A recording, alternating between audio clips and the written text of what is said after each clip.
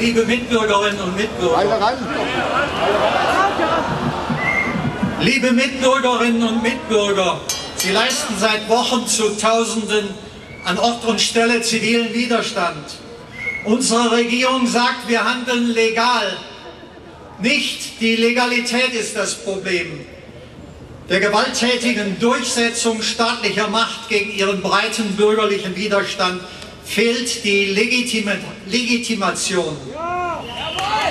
Die Regierung missachtet die Grundsätze ihrer eigenen konservativen Grundhaltung. Danach, nach dieser konservativen Grundhaltung, die es früher mal gab, muss staatliche Machtausübung sich auf ein ordentliches, transparentes Verfahren stützen. An der Transparenz mangelte es, wie die Zurückhaltung von Gutachten und der Protest zehntausender Bürger zeigt.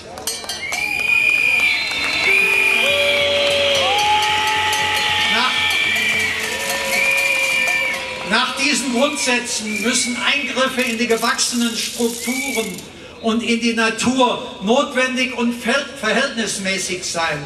Die Notwendigkeit wurde von Ihnen mit guten Argumenten bestritten. An der Verhältnismäßigkeit wurden begründete Zweifel geäußert. Ich meine jetzt nicht den Einsatz, sondern den Bau. Nach konservativem Denken muss bei sichtbar fehlender Akzeptanz und selbst eingestandenen Informationsdefiziten auch im Hinblick auf die bevorstehenden Wahlen auf die Schaffung vollendeter Tatsachen verzichtet werden.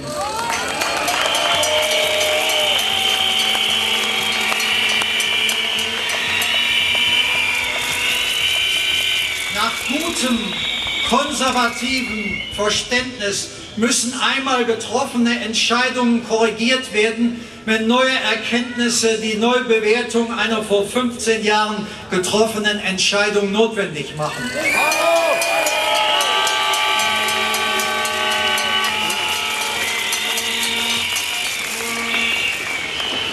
Ihre Forderung nach einem Baustopp und die Organisation eines Volksbegehrens ist begründet.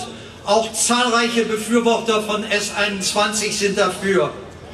Ein solches Volksbegehren ist nach unserer Verfassung, Artikel 5960 der Landesverfassung, auch möglich und durchführbar, wenn der politische Wille da ist.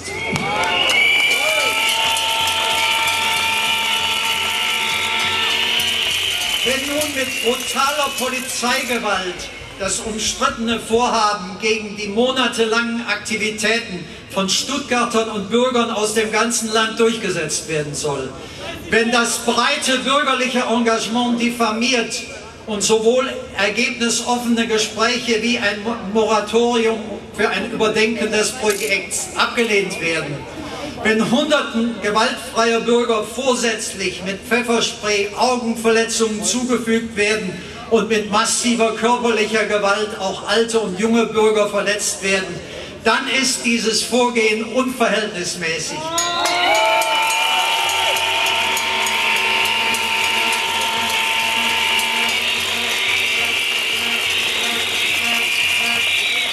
Und nach meiner Überzeugung rechtswidrig, also nicht mehr legal.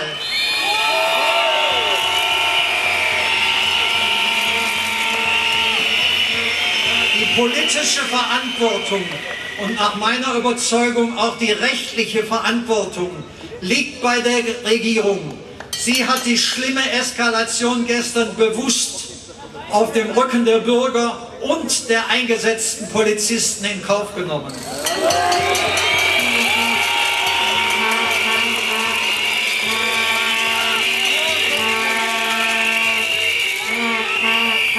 Hunderte von vorsätzlichen Körperverletzungen an gewaltfrei demonstrierenden Bürgern lassen sich nicht rechtfertigen. Das Menschenrecht auf körperliche Gesundheit aus Artikel 2 Absatz 1 Grundgesetz steht höher als das politische Interesse, die S21-Entscheidung jetzt ohne bürgerliche Beteiligung durchzusetzen.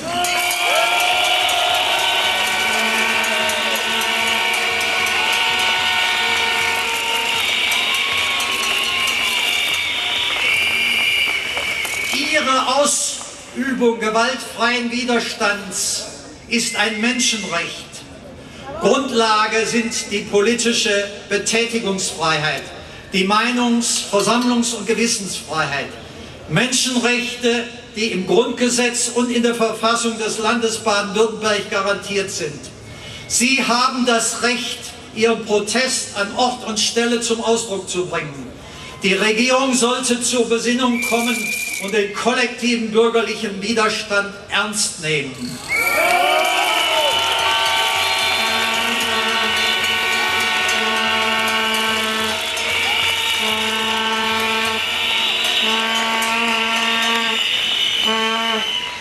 Ich möchte aus meiner persönlichen Haltung einen Appell an Herrn Mappus, Herrn Reck und Herrn Schuster richten.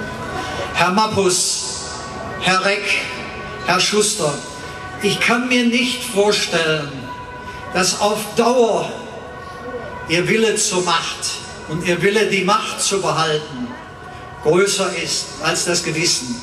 Ich spreche Ihnen jedenfalls die Möglichkeit einer Gewissensentscheidung nicht ab. Halten Sie inne, machen Sie einen Baustopp, machen Sie ein Moratorium. Wenn, Menschen wenn ein Mensch gestorben ist und Menschen schwerst verletzt wurden, dann gibt es eigentlich nichts anderes. Und wenn Ihnen das nicht genügt, dann möchte ich Sie an Ihren Amtseid und an die Landesverfassung, die ich jetzt zitiere, erinnern.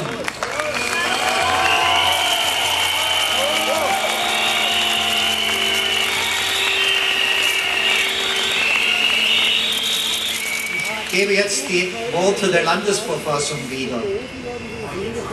Nach der Landesverfassung hat die Regierung sich der Verantwortung vor Gott und den Menschen, von dem Willen beseelt, die Freiheit und Würde des Menschen zu sichern und der Berufung des Menschen zu dienen, seine Gaben in Freiheit und in der Erfüllung des christlichen Sittengesetzes zu seinem und der anderen Wohl zu entfalten.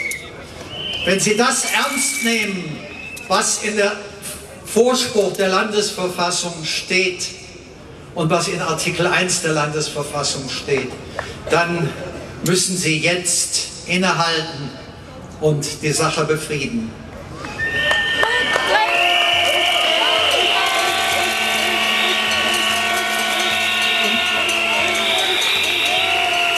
Und wenn, ich, wenn Ihnen das nicht und wenn das nicht genügt, erinnere ich an die Rechtsprechung des Bundesverfassungsgerichts in der berühmten Brockdorf-Entscheidung. Dort wurde die Versammlungsfreiheit als Ausdruck der Volkssouveränität, als demokratisches Bürgerrecht zur aktiven Teilnahme am politischen Prozess und die Meinungsfreiheit als unmittelbarster Ausdruck der menschlichen Persönlichkeit und die Versammlungsfreiheit danach als Freiheit zur kollektiven Meinungskundgabe bestätigt. Und da das Bundesverfassungsgericht hier sehr plastische äh, Äußerungen gemacht hat, möchte ich es gerne weiter zitieren. Die Wahrnehmung dieser wichtigsten Bürgerrechte bezeichnet das Gericht als Lebenselement einer freiheitlich-demokratischen Grundordnung. Die Versammlung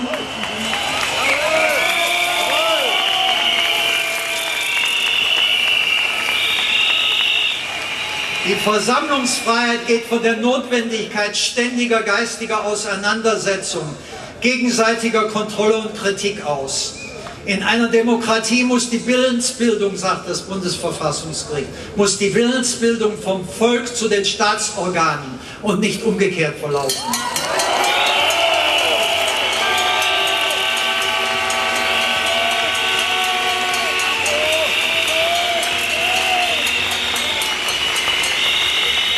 Und auch das, Herr Mappus, Herr Reck, ist wichtig, was das Bundesverfassungsgericht sagt. Das Recht des Bürgers auf Teilhabe an der politischen Willensbildung äußert sich nicht nur in der Stimmabgabe bei Wahlen, sondern auch in der Einflussnahme auf den ständigen Prozess der politischen Willensbildung.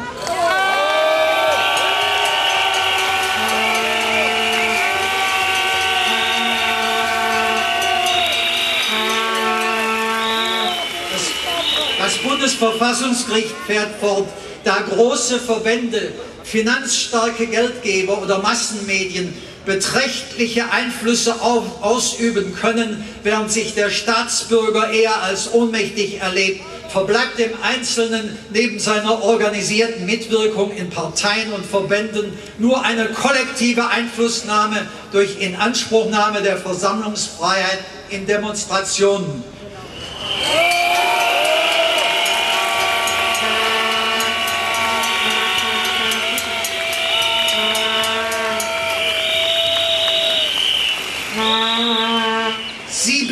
Möglichkeit zur öffentlichen Einflussnahme auf den politischen Prozess.